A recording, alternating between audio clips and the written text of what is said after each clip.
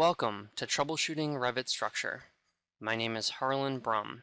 I'm the Global Technical Lead for Revit Architecture with Autodesk Product Support.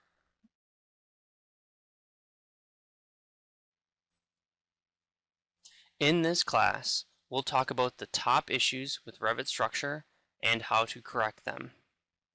We'll talk about the troubleshooting techniques needed to solve Revit Structure specific problems.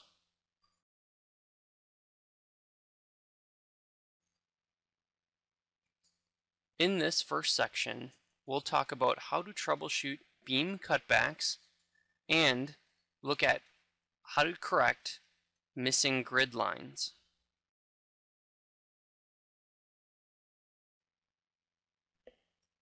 If your beams aren't cutting back correctly in a coarse representation, there are a few things you can check. First, is the issue isolated to a few beams or is the cutback incorrect throughout the entire file? If none of the members are cutting back correctly, check the structural settings dialog in the symbolic representation settings. Do you have start or end extensions? It is important to know that start or end extensions do not display in a coarse detail view. They need to be added with line work in a coarse view in order to display. Are there differing elevations in the connection? Depending on the elevation difference, the cutbacks might not calculate correctly. You can avoid this by using the Z justification parameter in the beam's instance properties. For example, you might want a joist seat to sit on top of a framing member rather than adjusting the start and end level offsets to accommodate the height change, set those to 0 feet 0 inches, and then set the z direction justification parameter to other and set the z direction offset value to the height you need. Are you using custom symbolic representation? Check the beam family settings to see how the representation is defined edit the family, and go to Create Ribbon and select Category and Parameters. In this dialog, there is a symbolic representation family parameter that can be set as from project settings or from family. This determines whether the symbolic representation is defined by the family or the settings of the project in which it is placed. Is your beam framing into a column? If so, check the cutback settings associated with the column family. Edit the column family and enter into the category and parameters dialog. There is a beam cutback in plan parameter that can be set at from bounding box or from geometry. This will determine whether the beam cutback is determined from the column bounding box or the physical geometry of the column. Something like this might come into play if the column has nested components, such as a foundation or plate together in the family. Is your beam a custom family? If so, try replacing the beam with an out-of-the-box family to see if the issue is due to the way the custom family was created. Another great tip is to try cutting and pasting the structural members to see if the representation appears correctly. If necessary, try recreating the members associated with the connection. Performing these actions helps to regenerate the Revit database and can resolve beam display cutback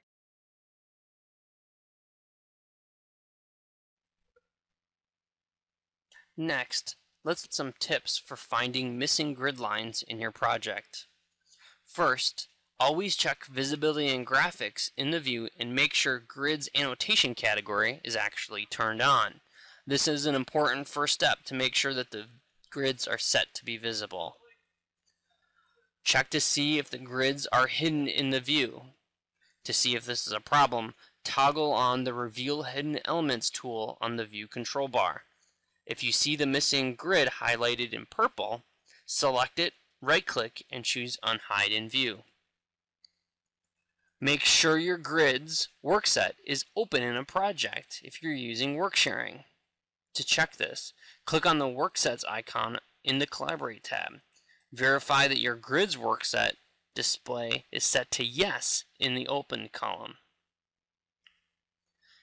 Also, it's a good idea to check whether or not that workset is actually turned on in the view.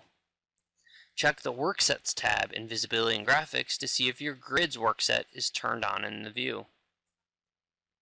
Do the extents of the grid cross the view in question?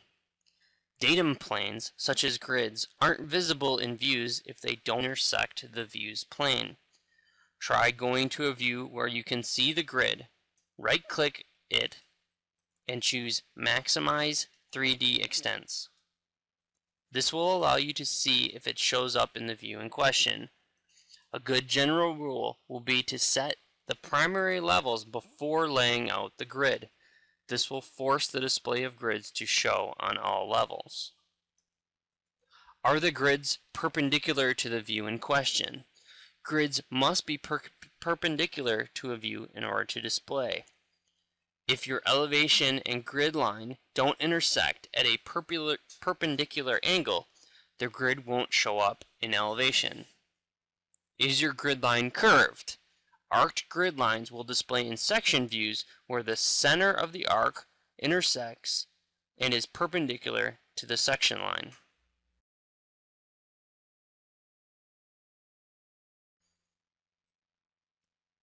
In the second section, we'll talk about how to understand and prevent copy monitor problems.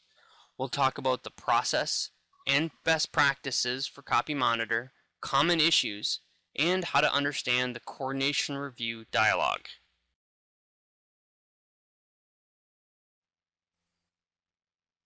Let's take a look at some process tips and best practices for resolving copy monitor issues in Revit Structure. If the engineers and architects are in the same office and have access to the same network, they can share one model. They work in the model at the same time using work sharing to split up the elements within that file.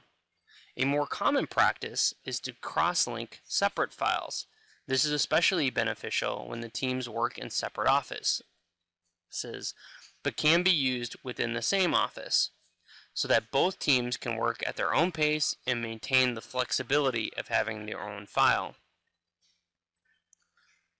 When it comes to Copy Monitor, make sure to set the options first before selecting any elements to copy.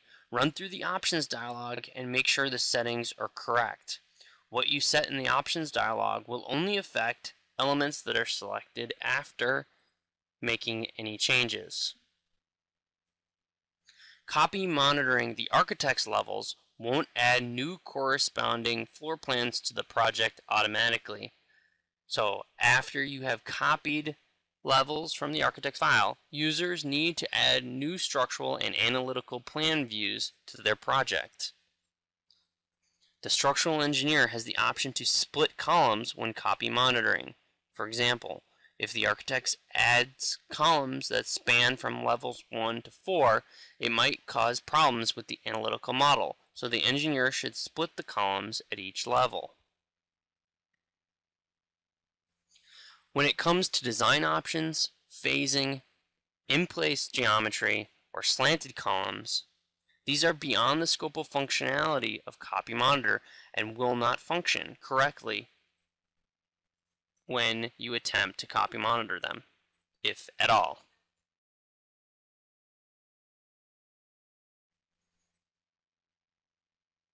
There are some common issues you may encounter when using the copy monitor functionality with Revit Structure. Shape edited slabs will copy as flat. Users should try to use the slope arrow tool to slope slabs where possible or use a separate slab for each slope of the slab. Walls will not clean up when copy monitored if the profile sketches have been applied to them. To work around the issue, users can eliminate the profile sketches where possible. Use masking regions to hide the plan line work at the cleanup, or Try using the Edit Wall Joins tool. However, this may not work in every scenario.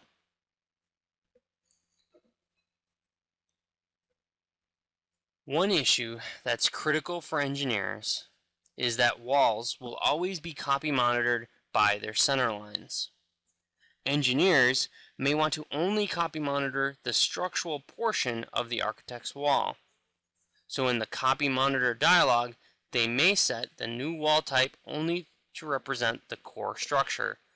Unfortunately, the copied walls will not line up with the core of the architect's walls, as they will be copy monitored by their center lines.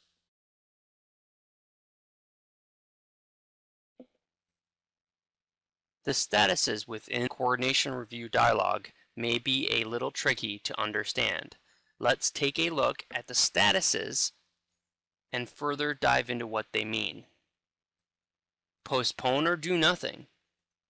Here, no real action is taken. This leaves the change to be addressed at a later time. Reject. This message is only an option in the host project. Selecting it makes no change in the host file. This indicates the modification made in the linked file appearing in the host file is incorrect. A change must be made to the monitored element. This needs to be, to be communicated back to the other project team members to resolve the problem. Choosing Accept Difference accepts the change and monitors the new position. For example, say an architect has an enclosure that the structural engineer has a structural column inside. The architect change, changes the location of the enclosure, but the engineer isn't going to move the column because it still exists within the enclosure the architect has defined. So the engineer accepts the difference in location and monitors the new position of the enclosure without modifying the column. Modify, rename, or move. The name of this command changes based on the action required. If a grid has changed or moved, the command reads modify. If the name of the monitored element has changed, the command reads rename, and choosing to do so renames the element. If a column or level is moved, the command reads move.